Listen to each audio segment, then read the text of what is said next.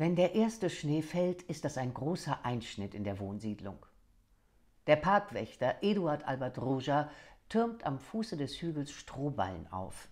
Die Ballen dienen als Begrenzung für rodelnde Kinder und bei ausreichendem Schnee wird er das Treiben der Kinder vom geheizten Wärterhäuschen aus überwachen können. Dalibor, der Postler, rutscht mit Bergstiefeln und Winterreifen bei Glatteis über den Asphalt. Laurin Sanfoss, der Mann am Meer, kann nicht mehr mähen. Frau Hoffner-Hanke, die Dame an der Hecke, kann nicht mehr im Grün wüten. Sigmar Söcke schaut verträumt den Schneeflocken zu, die das winzige Stück Grün vor seinem Fenster langsam zudecken. Tamasch hat sich in seinen Lammfellmantel gehüllt, die Hände in den Taschen vergraben und einen Schal um den Hals geschlungen. So bleibt er unabhängig von den Jahreszeiten in seinem pensionierten Tun. Sein Anblick ist leidend, die Mundwinkel deuten zu Boden, der Blick ist sorgenvoll, das Warten ist mühsam, aber notwendig. Er harrt aus auf dem Gehsteig, bei Schnee noch etwas sorgenvoller als bei Sonne. Er wartet, tritt von einem Fuß auf den anderen, geht einen Schritt vor, einen wieder zurück, manchmal auch im Kreis. Langweilig wird ihm nicht, denn er hat eine Aufgabe. Wenn der Kater zurück ist, werden sie sich in die warme Wolldecke hüllen und Tamasch wird ihn befragen, was heute los war in den Vorgärten der 30er-Zone. Der Kater wird auf seinem Schoß schnurren, während er sich die Fragen selbst beantwortet. Ein Auto braust mit hoher Geschwindigkeit um die Kurve. Tamasch ärgert sich über den rücksichtslosen Raser. Soll er den Weg des Autos zurückgehen? Soll er nach seinem Kater suchen? Nicht auszudenken, was solch ein rücksichtsloser Fahrer alles anrichten könnte. Aber was ist, wenn er gerade um die Ecke gegangen ist und der Kater kommt von der anderen Seite zurück und findet ihn nicht vor? Tamasch bleibt, wo er ist, mit leidvollem Blick. Der Kater ist nicht zu sehen. Das geht zu weit. Der blöde Kater geht jetzt nach Hause und gut ist, mault es aus dem Off. Das kann man ja nicht mit ansehen. Sie können sehen? frage ich, um gebührenden Abstand mit dieser Stimme bemüht. Ich dachte, ich hätte es mit einer Stimme zu tun. Ich dachte, wir seien per Du. Du hast es mit mir zu tun, ganz einfach mit mir, und ich lege mein Veto ein. Muss jede Stimme zwingend einen Körper haben? Ist das nicht ein wenig eindimensional für eine Schreibende? Wir sind ja nicht auf der Opernbühne. Für unsere Unterhaltung reichen ein, zwei Oktaven doch vollkommen aus. Oktaven, es reicht auch gar keine Oktave. Keine Unterhaltung von meiner Seite wäre wünschenswert. Ich wäre gerne wieder mit meinen Gedanken alleine. Ich kann in der Stille sehr gut existieren. Ich verehre sie sogar, die Stille. Und wenn Sie so freundlich wären, so nehmen Sie die Krallen dieses Tieres unter dem Dach mit. Das Kratzen, Quietschen und Springen ist wenig inspirierend. Zur Kontrolle tippe ich auf meine Tasten, die sich nicht eindrücken lassen. Die gesamte Tastatur ist blockiert, ganz wie ich es erwartet habe. Ich drehe den Computer ab, lege mir ein Blatt Papier zurecht und greife einen Stift. Zunächst den Kugelschreiber. Er schreibt nicht. Mein Füllfederhalter ist eingetrocknet, die Patronen nicht gefüllt. Der Bleistift ist stumpf, der Spitzer hilft mir auch nicht, die Mine ist mehrfach gebrochen. Der Filzstift liegt schon zu lange ohne Kappe herum, den brauche ich gar nicht zu probieren. Der Textmarker ist bis zum Verwurf nur eine kurze Überlegung wert. Ich stürze die Stiege hinunter, werfe die Tür ins Schloss und gehe zielstrebig in den nahegelegenen Park. Schnellen, energischen Schrittes, der sich in meinen angespannten Gesichtszügen fortsetzt, schreite ich den Weg entlang. Diese Stimme hindert mich zu arbeiten. Ich habe einen festen Platz in einer Tageszeitung zu bedienen und wandere stattdessen kopflos dahin. Mit der schlechten Laune allein gelassen drehe ich bereits die dritte Runde, als es allmählich dunkel wird. Die letzten Spaziergänger haben den Park schon verlassen, der Sperrdienst fährt die Zugangstore ab. Bei Einbruch der Dunkelheit ist der Park verriegelt.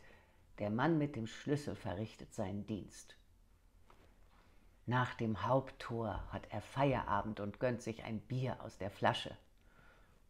Die Besucher des Parks können schließlich lesen oder sollten das zumindest können. Die Zeiten, in denen sein Vorgänger mit dem Fahrrad und einer Glocke in der Hand über die Wege und dann am Zaun entlang radelte, sind lange vorbei. Ein Foto vom Vorgänger, Gott hab ihn selig, hängt gerahmt in der Parkverwaltung und mahnt jeden Wächter der besseren modernen Zeit. Jetzt ist er motorisiert und macht sich ab Viertelpunkt auf den Weg. Es wäre denkbar, alle Tore des Parks synchron zu schließen. Eine vermutlich simple Software würde sein Schlüsselbund ersetzen.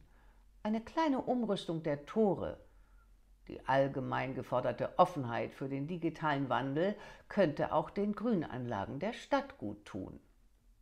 Er, Eduard, könnte über eine App die Tore des Parks öffnen und schließen. Es gebe dann auch keine zeitliche Verzögerung mehr von einem Tor zum nächsten und er könnte diesen Touch zweimal täglich von zu Hause aus durchführen oder besser noch programmiert durchführen lassen. Aber die Verwaltung sorgt sich um die Besucher des Parks, die in Gedanken im Grün abgetaucht die Zeit verdrängen, keine Uhr am Handgelenk tragen und kein Handy in der Hosentasche schrillen lassen. Jene unzeitgemäße, die zu spät, dann aber verdutzt vor einer automatisch geschlossenen Türe stehen würden. Gibt es diese Spezies überhaupt noch? Wurde die nicht längst wegdigitalisiert? Sie wurde. Die Unsportlichen und Alten müssten bei den Rehen übernachten. Die geübten Kletterer würden es mit dem Stacheldraht am oberen Ende des Zaunes aufnehmen. Die Sportlichen überwinden lieber das Tor. Ein etwaiger Kinderwagen könnte per Wurf in die Freiheit gelangen. Eduard grinst breit.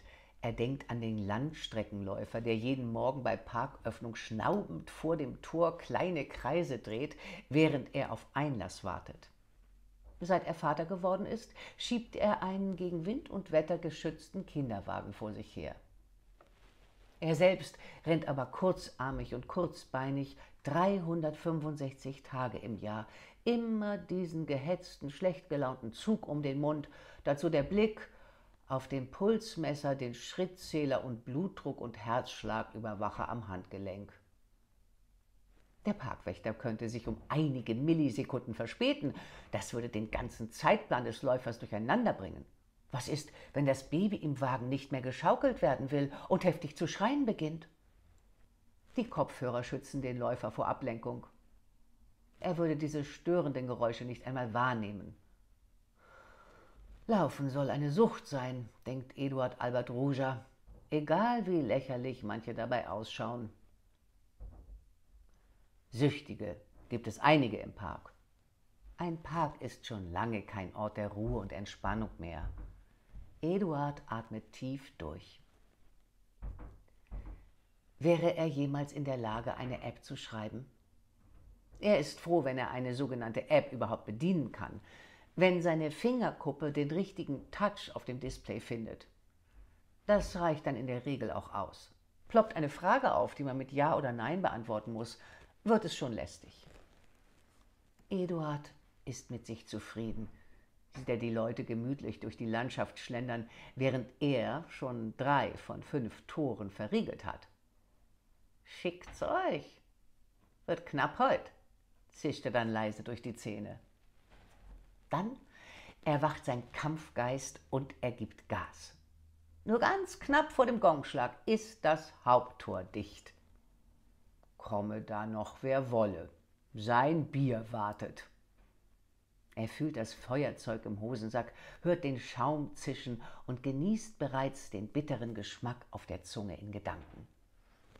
Die Straßenbahn setzt sich aus der Endschleife in Bewegung. Im letzten Abteil sitzt Eduard Albert Ruger im Hopfendunst mit seligem Lächeln. Heute waren es noch einige Parkbesucher hinter dem Stacheldraht. Zu dumm, wenn man die Hinweisschilder neben den unzähligen Verbotstafeln, das werden auch von Jahr zu Jahr mehr, nicht skaten, nicht radeln, kein Ghettoblaster, keine Hunde, kein Wildfüttern oder mit dem Handyblitz erschrecken, nicht die Wege verlassen, kein Grün ausrupfen, nicht grillen, kein Mist machen, kein gar nichts auf öffentlichem Grüngrund. Nicht beachtet. Der Wächter nimmt schmunzelnd einen kräftigen Schluck. Er genießt seinen Feierabend und überlegt, wie simpel solch eine Software zum Öffnen und Schließen der Parktore wäre. Wie schreibt man überhaupt eine App? Eduard Albert Ruger hat leider überhaupt keine Ahnung davon. Er schaut durch den inzwischen gut gefüllten Waggon. Jeder hier drin hält ein Handy vor der Nase oder ist per Kopfhörer mit einem Gerät in seiner Tasche verbunden. Aber wer von denen kann eine App schreiben? Hm, vermutlich alle zwischen Volksschule und Kinderwagen schieben. Warum können seine Kinder das nicht? Die Bahn bremst abrupt mitten auf den Schienen. Eduard verschüttet fast sein Bier. Ein Auto steht schlampig geparkt am Fahrbahnrand und blockiert unter Umständen die Weiterfahrt mit dem Außenspiegel.